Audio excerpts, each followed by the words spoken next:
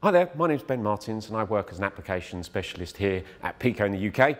Um, today we've got a little short video on a crankshaft sensor fault or an intermittent issue um, with a little Vauxhall Corsa. Um, it starts off at being slightly interesting in the fact that there was no fault codes, however it moves on to actually having a fault code which is slightly less interesting. Um, but hopefully there's a few tips and techniques within the video that will help um, with using Picoscope 7 as well. So thanks very much uh, and enjoy. Hi there everybody, so I've got an interesting little case study here. Um, it's not interesting, it's relatively straightforward, but it's always interesting when you don't get any fault codes. So this is a 2006 Vauxhall Corsa, it's got the 1.2 Ecotec engine in it. Um, now what we've got is intermittently it will cut out, sometimes it won't start either. Um, there's no fault codes on the dashboard and there's nothing that flags up when it is faulting. So a quick scan check actually didn't reveal anything, which is a bit slightly annoying. Um, yet sometimes it will crank with no start. So crank no start, obviously we're going to be looking at fuel, spark, crankshaft sensors, things like that, powers and grounds, etc. Um, so immediately what I did was I got hooked up WPS into the fuel pressure rail and underneath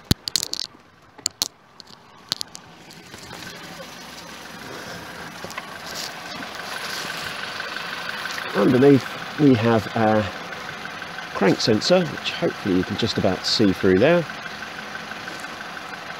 And we have that back pinned out on the two pins.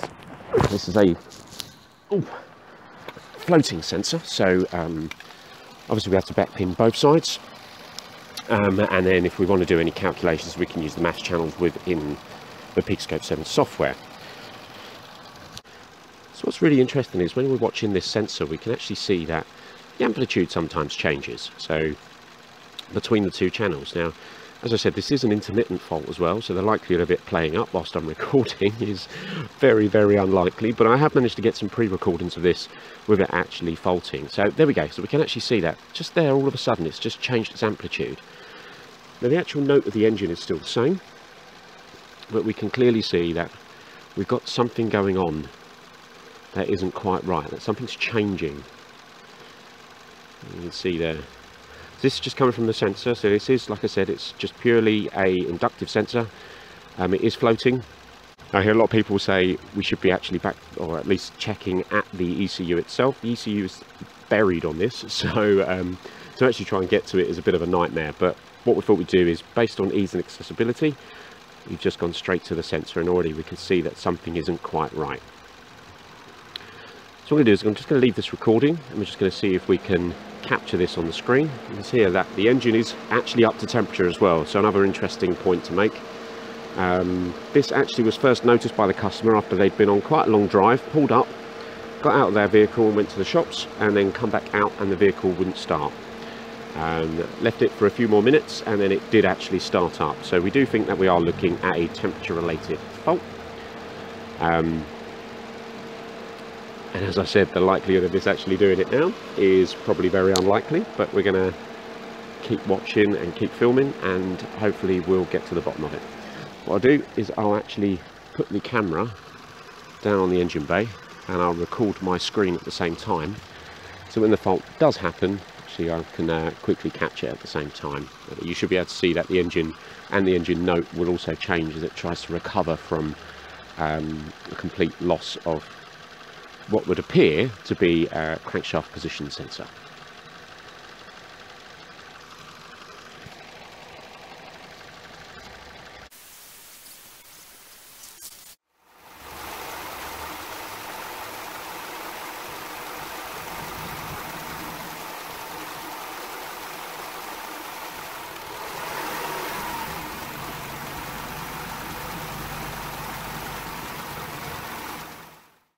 Okay, so to save having to keep running this, what we're going to do is I'm just going to go back to um, where the actual fault occurred.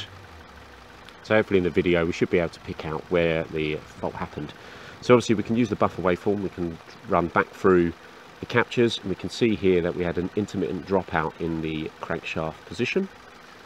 Now if we zoom in on this slight patch here, what we can actually see is that the crankshaft sensor has actually shorted itself together. So we can see the amplitude is massively reduced and we've actually lost this pattern in where we should have an opposite um, or a mirror image of the sensor. But at that point in particular that is where we get this uh, where it's actually joined together and it's actually outputting the same signal. So it must mean that they've joined themselves together. So what we can do is we can do some simple maths just using the built-in maths channels in Picoscope 7 if I just do a plus b and a minus b get rid of fuel pressure I know that's not the issue. But can you see there that actually by adding the two together we can quickly see when something's actually changed? And also when we've got the true amplitude by doing the a minus b. So zoom in around this a bit more get a bit closer you can see there that actually it's lost its signal completely actually when we're adding the two together we actually get a much bigger amplitude or output um, because now they're both the same. Alright, so what I'm going to do now is I'm going to get that crankshaft sensor out. We're going to have a little look at it. Um, I believe it is temperature related, so when it is shorting itself together, what we'll do is I will um, try and put some heat onto it and see if we can actually get the resistance to change using the resistance lead and hopefully actually prove it one step further. I mean, I'm fairly confident that even from that, that actually we can already see the problem. But uh, yeah, let's do a bit more digging. Right, cheers.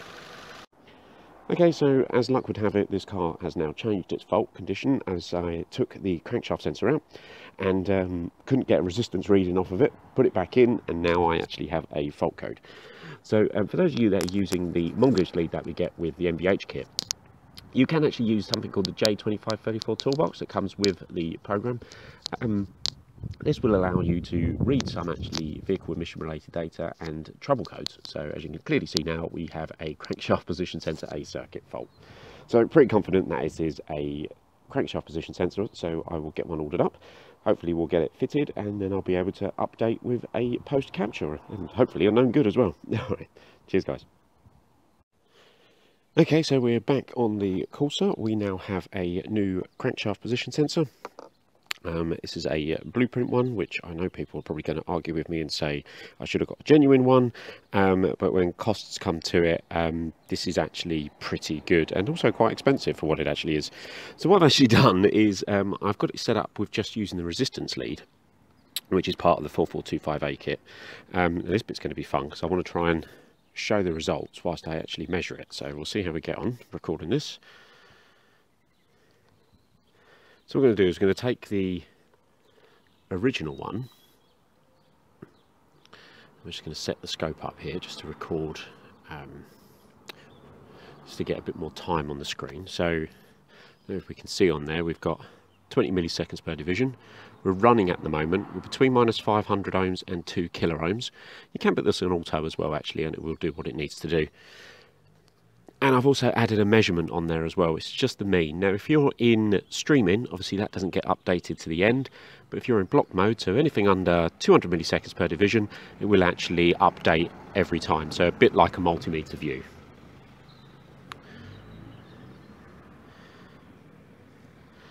So what I do is I snag my, uh, capture my screen at the same time so you can see what's actually going on. So we'll start off with that. This is their original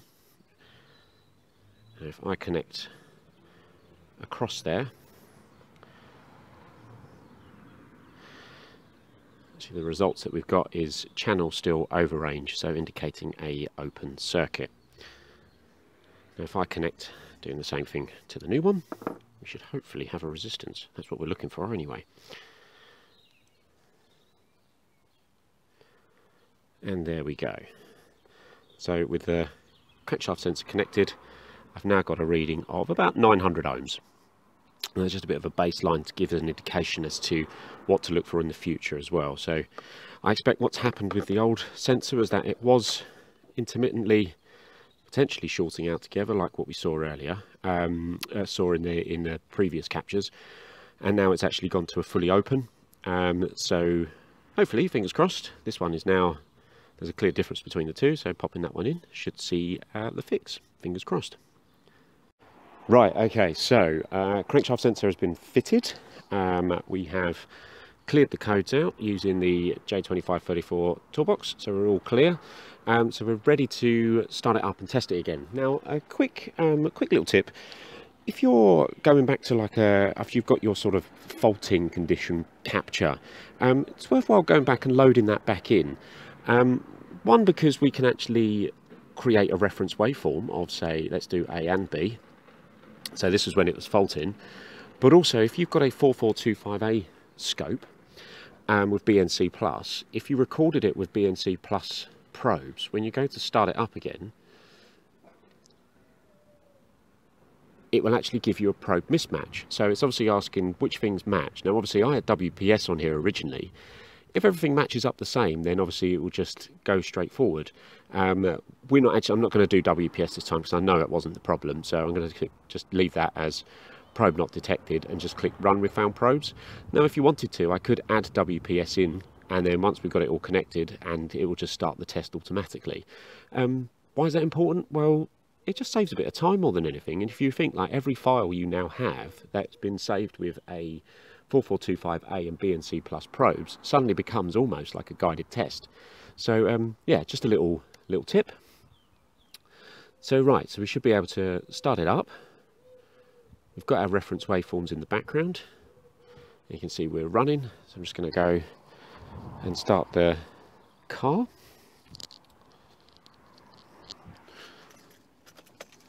So it, warnings lights should all be out now. Good stuff, and the engine RPM, the RPM uh, gauge is working. So we'll come back round.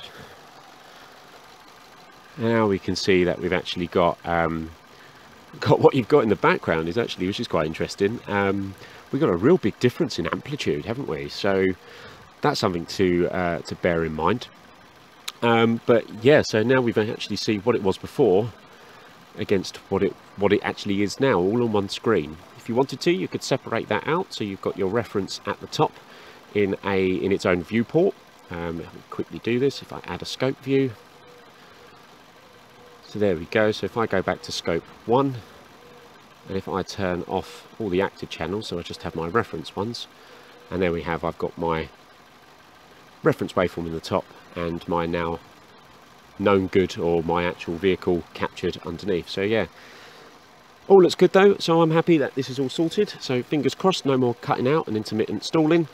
Um, yeah, I hope that helps. I hope we've shown a few little tricks that will help with um, diagnosing. And uh, yeah, thanks for watching.